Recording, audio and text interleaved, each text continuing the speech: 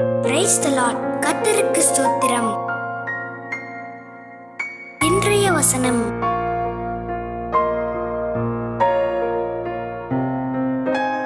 சங்கீதம் அறுபத்தி எட்டு பத்தொன்பது முதல் இருபத்தி ஒன்றாம் வசனங்கள். என்னாலும் ஆண்டவருக்கு ஸ்தோத்திரம் உண்டாவதாக.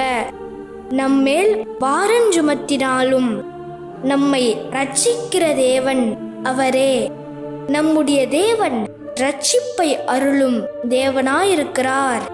ஆண்டவராகிய கர்த்தரால் மரணத்திற்கு நீங்கும் வழிகளுண்டு. மெய்யாகவே தேவன் தம்முடைய சத்துருக்களின் சிரசையும் தன் அக்கிரமங்களில் துணிந்து நடக்கிறவனுடைய மயிருள்ள உச்சந்தலையையும் உடைப்பார்.